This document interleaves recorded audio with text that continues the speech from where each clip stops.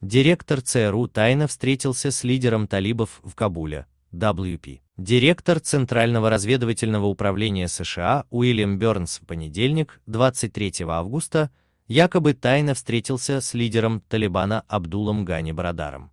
Встреча якобы состоялась в захваченном талибами Кабуле. Об этом сообщает РБК Украина со ссылкой на американское издание The Washington Post.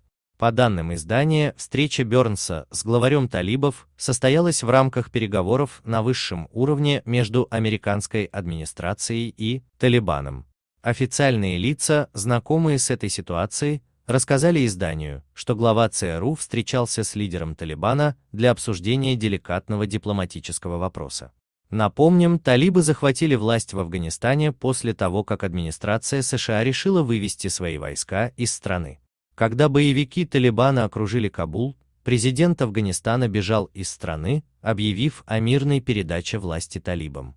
Как писала РБК Украина, 21 августа в Кабул прибыл лидер политического крыла Талибана Абдул Гани Барадар.